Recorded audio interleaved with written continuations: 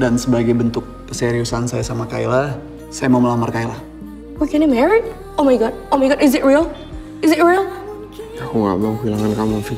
Aku cuma nggak mau rela hidup kamu sengsara. Aku kangen sama kenangannya, bukan kangen pulang rumah. Dadah, semangat ya. Clara, ih, mau jus aja kamu ih. Fit, udah dong, jangan karena kecil. Ih, Rel, tapi aku beneran takut. Udah kita pulang aja yuk.